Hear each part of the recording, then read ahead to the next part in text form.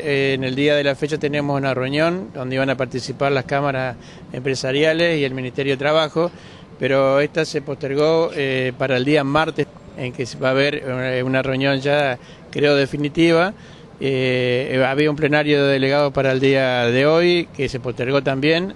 Entonces, a partir del día miércoles, si no hemos llegado a ningún acuerdo en la reunión esa, si no hay algún resultado positivo, estaríamos implementando medidas de fuerza para la semana venidera.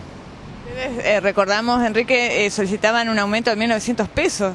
Nosotros pedíamos un porcentaje que, que ya hemos recibido un adelanto para los meses de enero, febrero y marzo, que rondaría en un 23% más o menos, eh, según lo que, estamos, lo que hemos analizado.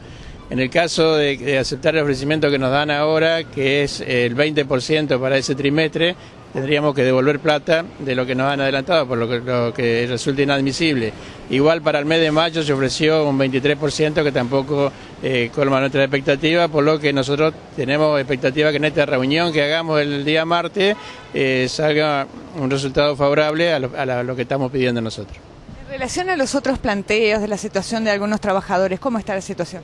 No, nosotros aparte del tema salarial tenemos eh, en el tema de paritaria incluimos una serie de puntos que son eh, las que venimos eh, reclamando hace mucho tiempo como la zona veraniega, como la zona patagónica, como la, la reincorporación de compañeros que han sido despedidos sin justa causa y así también el tema de los tercerizados, que nosotros incluimos el tema de Nación Servicio para que pasen a la planta operativa del banco.